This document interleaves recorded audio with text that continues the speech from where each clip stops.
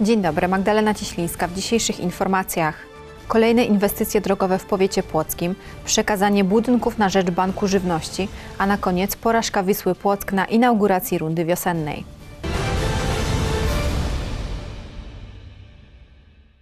Będzie ich wiele.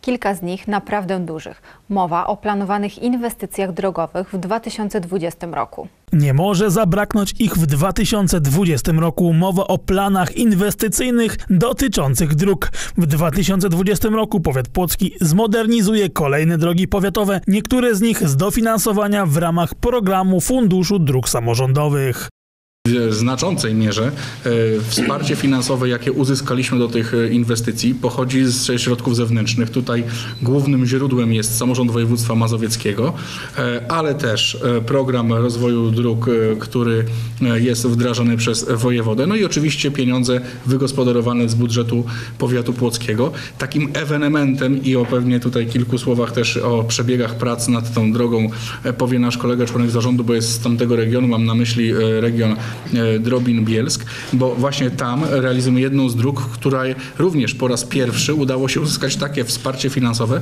bo wynosi aż 95% wszystkich kosztów kwalifikowanych, czyli drodzy Państwo, za 5% wkładu własnego realizujemy inwestycje.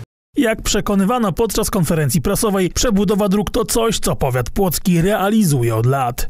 Tylko od 2011 roku do końca roku 2019 w powiecie płockim przebudowaliśmy ponad 210 km e, dróg za kwotę blisko 100 milionów złotych. To uważam, że jeśli chodzi o poziom finansowania dróg powiatowych jest bardzo dobrym e, wynikiem na tle innych, czy ościennych, czy innych powiatów.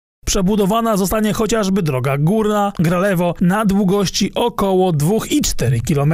Realizacja zadania zakończy się wraz z końcem września tego roku. W przygotowaniu są także kolejne drogi o długości 14 km, na które przeznaczono kwotę blisko 7,5 miliona złotych. Powiat kładzie duży nacisk na poprawę infrastruktury drogowej, a co za tym idzie na bezpieczeństwo.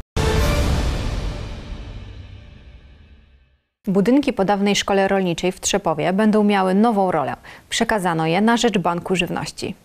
Budynki po dawnej szkole rolniczej w Trzepowie zostaną przekazane na potrzeby Płockiego Banku Żywności. Nowy magazyn oraz strefa aktywności gospodarczej powstanie niebawem. Przypomnijmy, Bank Żywności pomaga w sumie 38 tysiącom potrzebującym mieszkańcom powiatu płockiego i sierpeckiego ten dar y, starostwa powiatu płockiego jest dla nas niesamowitym takim raz, że wyzwaniem do prowadzenia dalszej działalności i rozszerzenia tej działalności, ale też no, takim ciężarem, który postaramy się nie zawieść starostwa, bo dużo obiecujemy. Planujemy tam postawić budynek biurowo-magazynowy na początek. Chcemy ten teren ogrodzić, chcemy ten teren zagospodarować.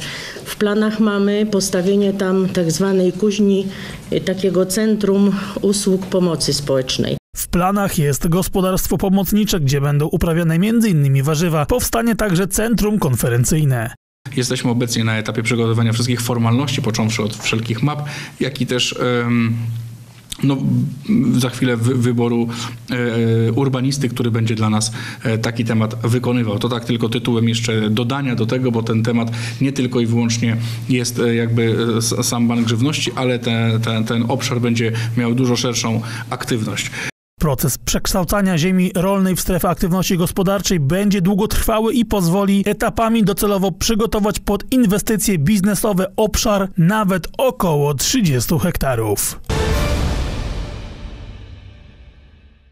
Z nieba do piekła w 5 minut. Wisła Płock przegrała pierwszy mecz po zimowej przerwie i to pomimo dwubramkowego prowadzenia. To był bolesny początek sezonu. Wisła Płock przegrała inauguracyjny mecz z Pogonią Szczecin 2 do 3 i to pomimo prowadzenia dwoma bramkami. Szanse na trzy punkty legły w gruzach w ciągu zaledwie kilku minut. To wydawało się niemożliwe, a jednak stało się faktem. W ciągu pięciu minut rywal trafił do bramki gospodarzy trzy razy, zgarniając tym samym komplet punktów.